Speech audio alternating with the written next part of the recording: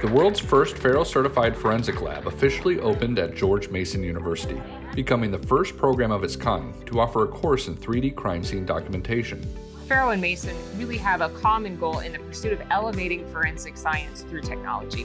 FARO has provided over $300,000 worth of hardware and software, which is considered industry standard by forensic professionals, so that students gain hands on experience as they prepare for a career in public safety. It will give our students the knowledge and the training and the practice to be on the cutting edge. Thanks to FARO is now where we're giving our students that capability that they can now take into their future jobs. Students will learn how to use FARO equipment, both in the lab and on their new 5-acre forensic field lab. This ultimately results in solving crimes and identifying victims. Technology, such as FARO scanners and software, ensure crime scenes are captured quickly and accurately, helping investigators preserve crime scenes and analyze evidence.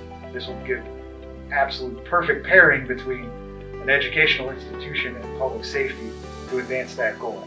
And this first of its kind partnership prepares the next generation of public safety professionals the technology and tools to gather better data faster.